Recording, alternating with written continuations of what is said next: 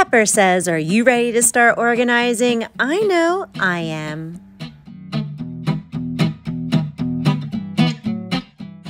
A couple weeks ago, we were in the kitchen and we organized the medicine cabinet, and it turned out so good.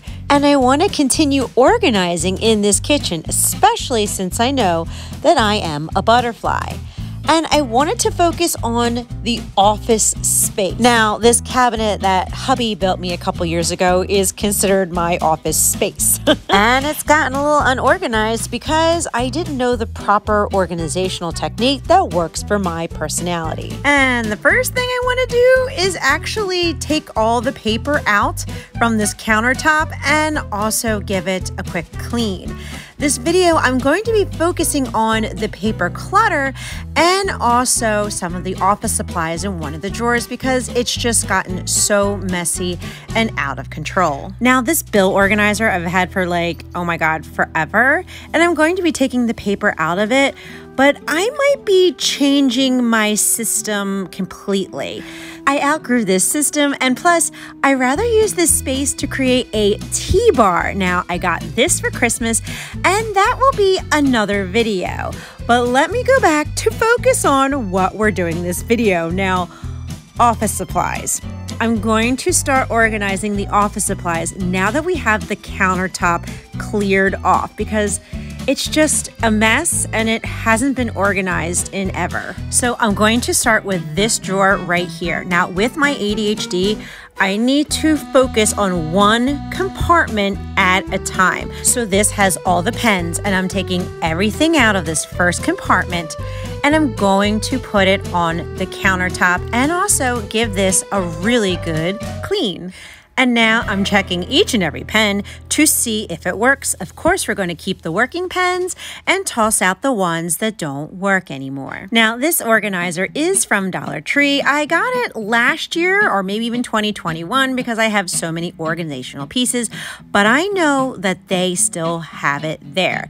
And what I'm doing is I'm just putting all of the pens, the markers, into this little container. Now, I noticed that I still had a lot of unused space that I could actually use.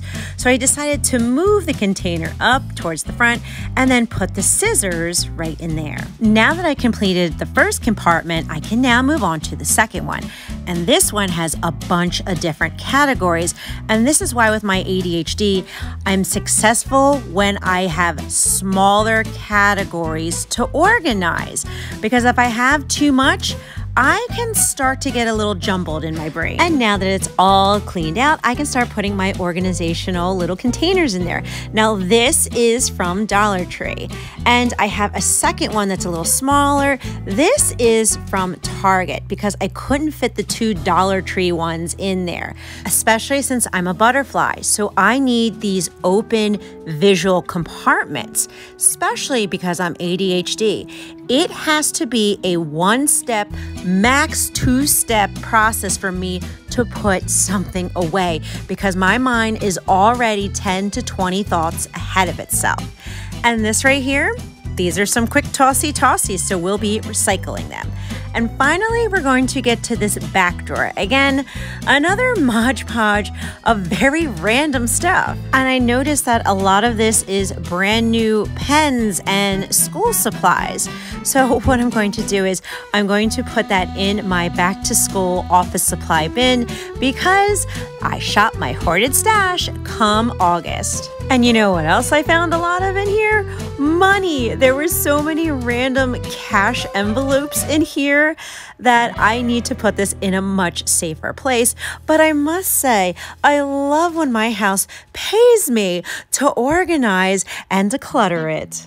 And for this back drawer, I decided to not put little organizers in it because the pieces that I had I can just visually lay it out. And now, finally, my messy office supply drawer is organized, and hubby had added this contact paper just to give it a little more visual appeal. And I have to admit, I really love how this came out. It's really awesome now that I know exactly what my organizational style is so that I can be successful in maintaining it.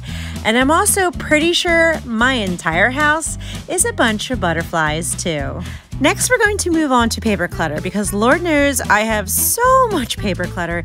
And this drawer is just a bunch of random receipts, paperwork. I mean, I don't even know what's in here, honestly, anymore. The next drawer is my filing cabinet section. And I actually can maintain this because it's very colorful and it's a one step put away process clearly labeled. And of course, this is a hot spot for paper and mail, so of course, we'll be going through that. And this right here in the living room, I want to totally redo it this year.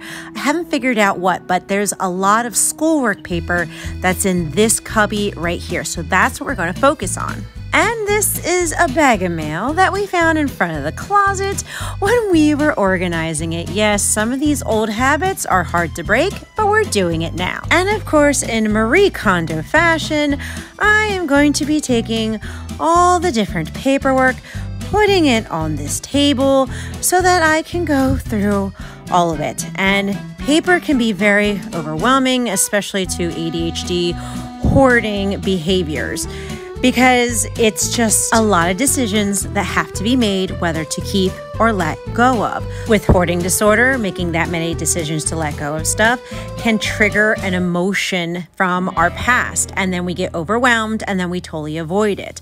With ADHD, our brains lack dopamine. So if there's no reward for going through all the paperwork, we're going to lose focus really quickly. And that's why I used to fall to decision making fatigue so quickly in the past. But after doing this for a few years, I know I do get rewarded because I will have an organized space and I've been working through the past traumas that had triggered the hoarding disorder so that I can make better decisions. We have strengthened my decision making muscles over the years. I am also trying to downsize the amount of paper that is coming into my home. Now, I am debt free except for my mortgage. So each month I just have to pay for mortgage, utilities, food, and that type of stuff but I still get a paper bill. And I'm trying to transition into more online paying. But look, being a kid of the 80s and 90s, my baseline was to write everything down. It's how my ADHD processes things is to be able to write things down and keep track of it. But the paper bills honestly were just a small percentage of the paper clutter.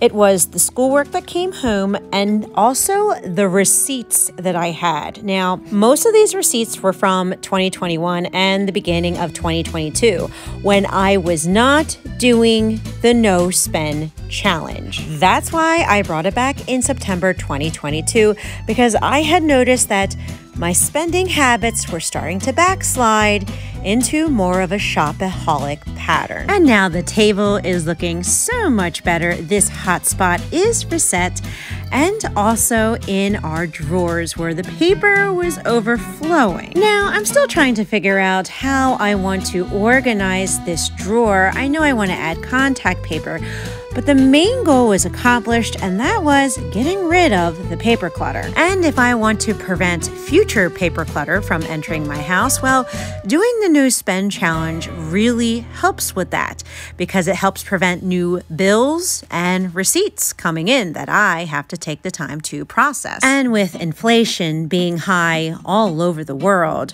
well, this is the best year to really start these no spend challenge habits because I cannot afford afford to go back into a shopaholic behaviors again, especially if I'm trying to declutter my hoarded house. Now, this is how we did for January, and so far we have done amazing. Now, I'm actually recording this on January 29th.